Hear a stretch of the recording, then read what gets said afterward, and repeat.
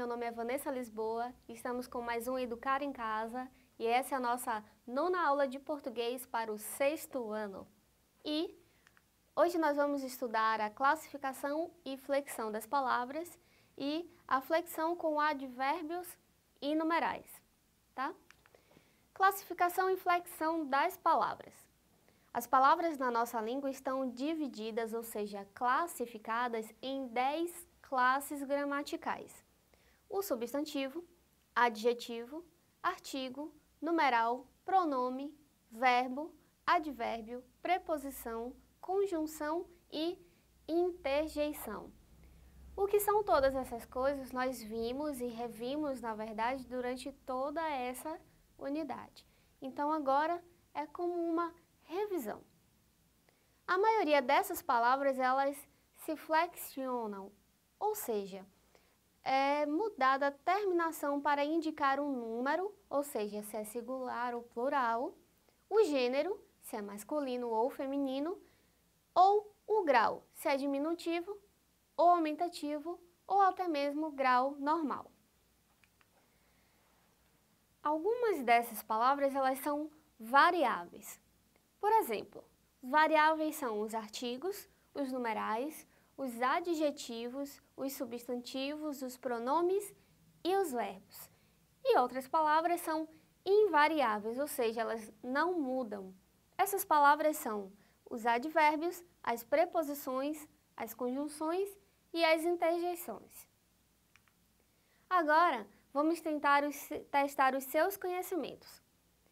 Ao lado de cada grupo de palavra, escreva V para as palavras variáveis e I para as palavras invariáveis. E a seguir, você vai escrever a classe gramatical a qual essas palavras pertencem. No primeiro grupo nós temos letra A, belo, alegre e rápido. Na letra B, ai, ui, ó, a, oba. E na letra C, dois, seis, 11 e 17. E aí, muito facinho, não é? Vou dar um tempinho para vocês responderem e a gente volta com mais respostas.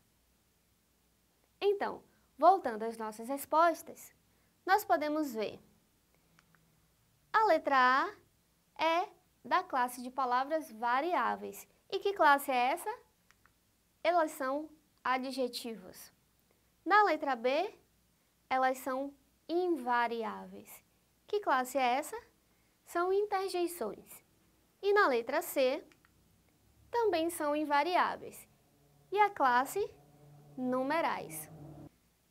Agora nós vamos falar das flexões de alguns advérbios e numerais. Algumas palavras elas admitem flexão como certos advérbios e certos numerais.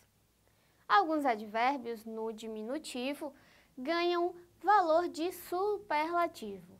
Por exemplo, cedo passa a ser cedinho, perto, pertinho, longe, longinho, devagar, devagarinho.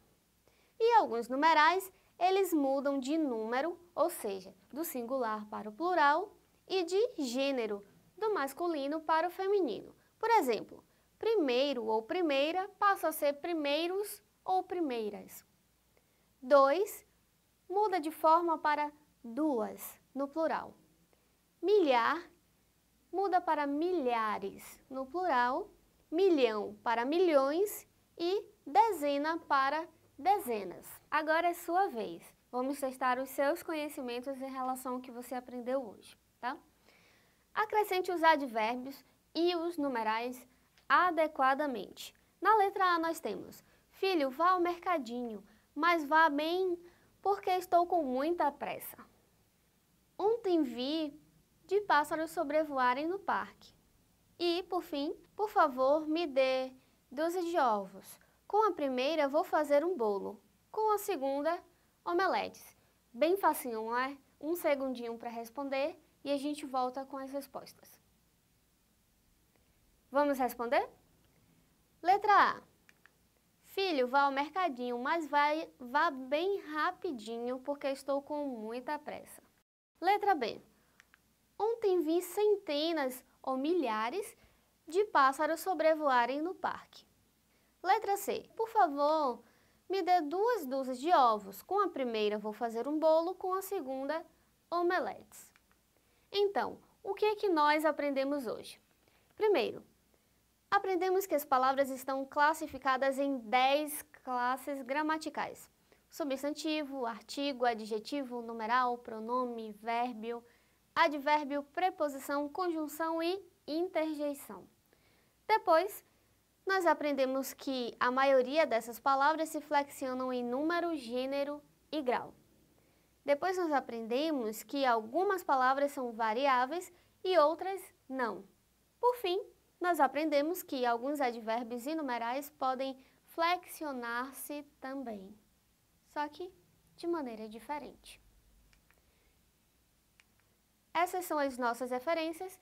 A nossa aula foi montada com base no Caderno do Futuro para o sexto ano e até a próxima aula de português para o sexto ano.